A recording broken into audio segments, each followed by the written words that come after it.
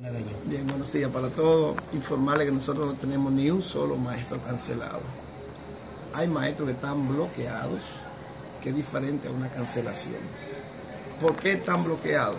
Las alternativas que el ministerio tomó fue una auditoría que hizo, cuando no encontró ese maestro en su lugar de donde salía, porque había sido ubicado por el distrito en otro espacio, entonces lo bloquearon.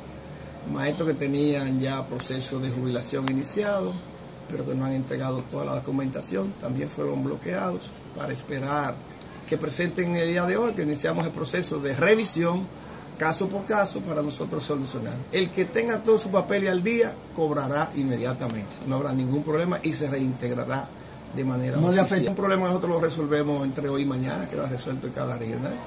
No solo en esta regional, se hizo a nivel de todas las regionales del país. Son entre ellos que por error salieron, porque estaban ubicados, por ejemplo, Bernardo Acosta, que sale en la escuela Don Pepe Álvarez, por ejemplo, y me habían enviado a la escuela Las Maras, entonces me bloquearon hasta que yo presente la situación de mi documentación, que yo estaba trabajando en Las Maras. Sin documentación tranquila, que trabajaba en Las Maras, fue avalado por el director, ahí no hay ninguna situación, esa persona, Bernardo, cobrará. Entonces, el, licenciado, entonces se demiente las versiones de que están cancelados, sino eh, una revisión lo que Totalmente desmentimos esa de cancelación. No hay ni un solo maestro cancelado. Hay maestros, si, no está, si estaba fuera incumpliendo, ya eso tiene sus sanciones.